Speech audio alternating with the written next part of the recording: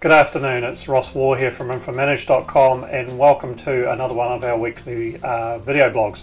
Um, I thought I'd start this week again where we left off last week by looking at some information from ISO 55000 Asset Management. Um, been doing a little bit of work around scoping uh, description of overview of asset management for a tertiary study course and was looking for sources, came across this one in the ISO uh, from section 2.4.1, an overview of asset management. Just one little paragraph. Asset management involves the balancing of costs, opportunities, and risks against the desired performance of assets to achieve the organisational objectives. The balancing might need to be considered over different timeframes. That's a very good little concise definition of asset management, and uh, just lots of really good information in the ISO like that. But just take that one away with you to have a think about. Um, as also as part of that, that asset management scoping exercise, I was looking for other information and came across um, the Global Infrastructure Outlook, which is a G20 country initiative looking at the forecasting of infrastructure investment needs and gaps out to 2040. You can click on your own country or your own region or, or one of the seven sectors uh, and, and build your own information there. Well worth having a look at. I'll put the link in the, in the blog post.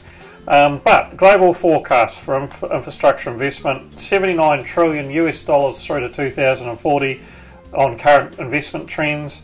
What is needed is 94 trillion US dollars, um, leaving a 15 trillion dollar, nearly a trillion US dollars a year investment gap.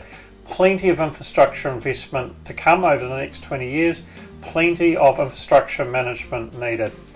Finally, the third thing that I wanted to look at uh, with you today is this uh, graph that's up on the screen. I was talking to a client the other day about the implications of this graph because often we'll just produce a uh, what we call a Manhattan, the graph of when infrastructure needs to be replaced, and you'll get out at year 7, 8, 9, 10 a big peak as shown in the graph at the moment, a, peak of uh, replacement or capital.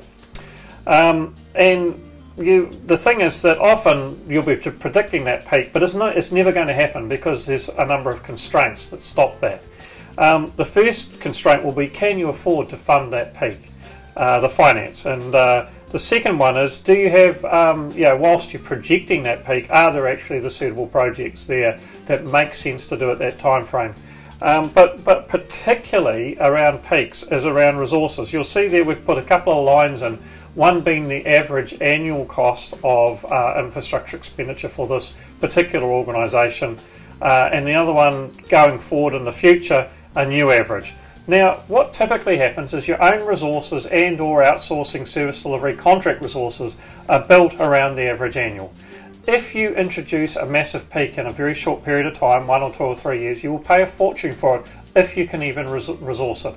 Uh, uh, conversely, if you have a three, four, five, ten year period where you spend nothing, don't expect those resources to be there when you start coming on stream for infrastructure investment. So, one of the little tips is try and iron out those peaks and try and get a consistent level of expenditure on your network or on your system because that is going to be the long run lowest cost way of doing it. Thanks very much. We'll see you next time.